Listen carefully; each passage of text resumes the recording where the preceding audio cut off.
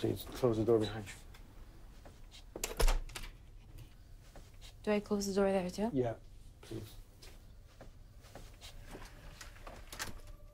Is the distance from the screen okay for you? Yeah, it's fine. Okay. On the screen, you have 40 web videos from Israel. And I'd like you to please try to verbalize whatever comes to mind when you're viewing.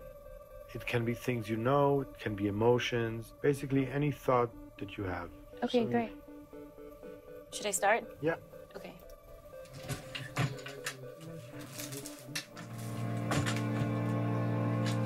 Focus, focus, right?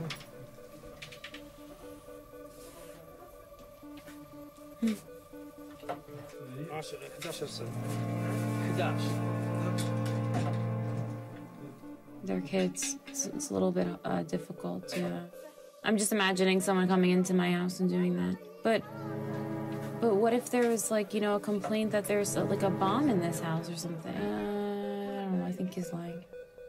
I'll go out a couple. Ish.